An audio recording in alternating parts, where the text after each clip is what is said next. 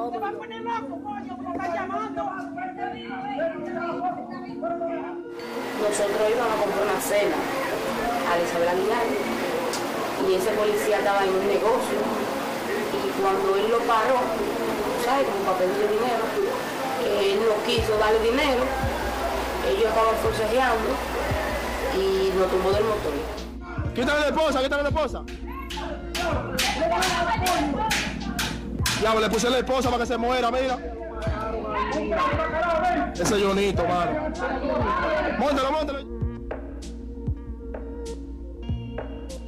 Cuando nosotros nos caímos, él le dio de tiro, uno en brazo y uno que le dio ahí y entró. Entonces el esposo mío se paró y se fue corriendo buscando auxilio porque no había mucha gente. Y él le cayó atrás de tiro, como loco. Y cuando él cayó, él lo arrastró y lo amarró del hierro y se fue. Y lo dejó tirado. Es uno de los testimonios que recoge una brillante investigación que ha realizado Diario Libre. Hoy conversamos con las tres periodistas que estuvieron a cargo de esta investigación, que obviamente llevó meses y que han realizado en coordinación con otros organismos internacionales. Para conocer un poco más de eso, les invito a que participen en este programa en el día de hoy. Patrulla Letal, esa es la etiqueta que estamos utilizando y les ruego a ustedes que si tienen opiniones, también la manifiestan. Bueno, quiero aprovechar para saludar a toda la gente que está en sintonía a esta hora de la mañana. A los que están en Teleradio América 45 o 12, dependiendo su señal de cable, y por supuesto a los que están a través de mi canal de YouTube, a toda la gente que nos ve. Ayer estaba mirando las estadísticas, siguen siendo hombres, la mayor parte de gente que entra a este canal, como a todos los canales informativos de la República Dominicana. Hay un estudio incluso que así lo avala. Así que animamos a las mujeres, que debo decir que ha aumentado un poquito más en el último año, mirando las estadísticas con respecto al año pasado.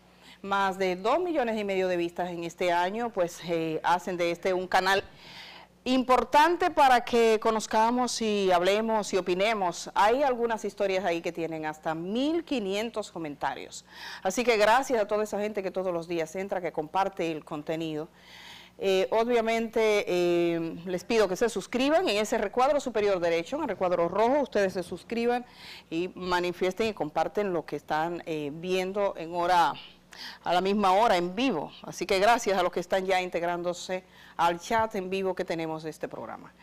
Eh, quiero decirles que hoy tenemos muchas cosas que compartir con ustedes. Les decía de ese caso inicial que se narraba, que es uno de los casos narrados en la investigación realizado por tres periodistas en el periódico Diario Libre, Patrulla Letal.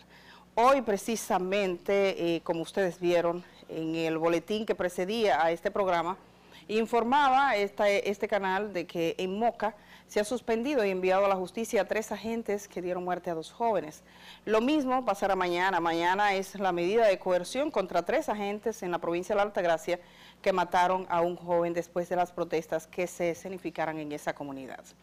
Y bueno, les recuerdo que estamos caminando hacia el 24, que hay en el 24 la marcha de las mujeres, la marcha por los derechos de las mujeres, la marcha porque haya una sociedad de iguales donde no esté pasando esa arbitrariedad, eso que es inexplicable en nuestra sociedad. Dos mujeres asesinadas en el día de ayer, una, de, una también gravemente herida en circunstancias que todavía dicen que investigan, pero que se sabe que está vinculado con la decisión de dejar a sus parejas de separarse. O sea, las mujeres también tienen derecho a decir no.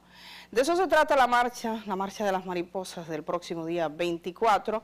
Y como lo dice Elena Agadea, la clave estará en el respeto, la clave estará en la igualdad. Esa es la canción con la que les dejo y me voy a la pausa.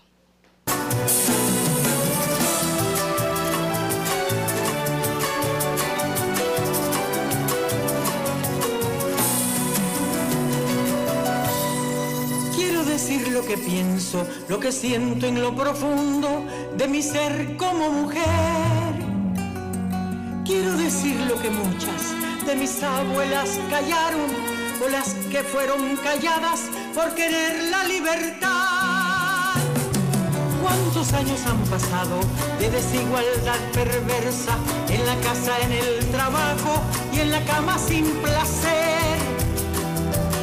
De nada sirven las leyes, los decretos, la justicia, si no vencemos prejuicios en contra de la mujer.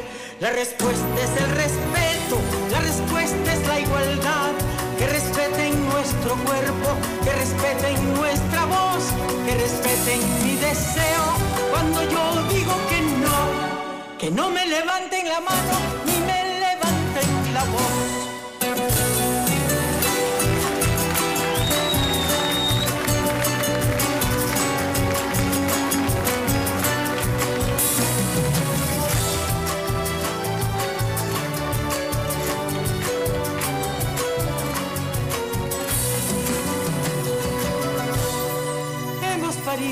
Hijos que los demás han querido con temor al porvenir. Hemos visto pasar siglos, mancilladas desde niñas, abusadas, calumniadas, señaladas ante Dios. Quieren que sigamos siempre en el papel de sumisas, como la mujer perfecta, sonriente, esclava y feliz. De la escoba a la cocina, la cocina la plancha, sin horario ni salario, maltratada es la mujer. La respuesta es el respeto, la respuesta es la igualdad. Que respeten nuestro cuerpo, que respeten nuestra voz, que respeten mi deseo. Cuando yo digo que no, que no me levanten la mano ni me levanten la voz. La respuesta es el respeto, la respuesta es la igualdad. Que respeten nuestro cuerpo, que respeten nuestra voz, que respeten mi deseo. Cuando yo diga que no, que no me levanten la mano ni me levanten la voz. Exijo que el mundo cumpla mis derechos de mujer.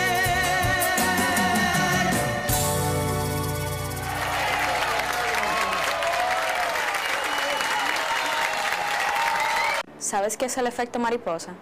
Significa que el aleteo de una mariposa Puede provocar un huracán en otra parte del mundo. como nuestras mariposas. Patria, Minerva y María Teresa. que por su lucha resistencia. Y trágico asesinato en manos de la dictadura. El 25 de noviembre se conmemora el Día Internacional de la No Violencia contra la Mujer. Por nuestras mariposas. Anibel, Andrea, Emily, Yesenia, Glenis, Gisela, Yulisa, Miledis, por ellas, por sus hijos, por sus hijas, por los nuestros, por una sociedad más justa. por la no violencia contra la mujer. marchemos este domingo 24 de noviembre a las 9 a.m. Desde el Mirador Sur, esquina Churchill, hasta el Centro de los Héroes. Porque el aleteo de una mariposa puede provocar un huracán en otra parte del mundo.